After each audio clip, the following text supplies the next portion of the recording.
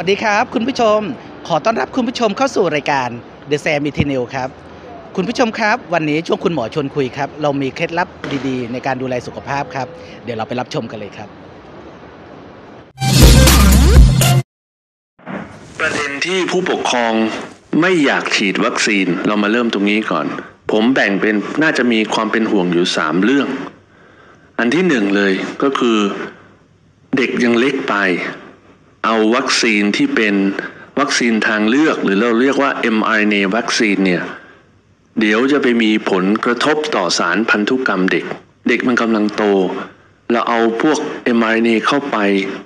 มันจะไปเปลี่ยนรหัสพันธุกรรมเด็กทำให้อนาคตเนี่ยเด็กมีความเสี่ยงที่จะเป็นโรคมะเร็งโรคพุ่มพวงโรคเอ่อ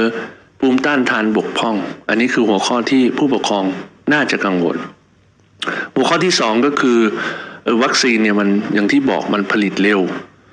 มันได้รับการพิสูจน์ หรือการอนุมัติเร็วเกิน ยังไม่มีการศึกษาในตลาด แล้วก็เฝ้าระวังนานพอสมควรดังนั้นเอามาใช้กับเด็กเนี่ยกลัวว่าระยะยาวเด็กจะมีโทษ อันสุดท้ายคือหลังจากฉีดไปแล้วก็มีข้อมูลว่าเด็กเนี่ยมีกล้ามเนื้อหัวใจอักเสบนะฮะก็เลยกลัวว่า ถ้าเด็กฉีดไปแล้วจะมีความเสี่ยงหรือไม่ งั้นแบ่งเป็นสามเรื่อง ก็คืออันที่หนึ่งคือ วัคซีน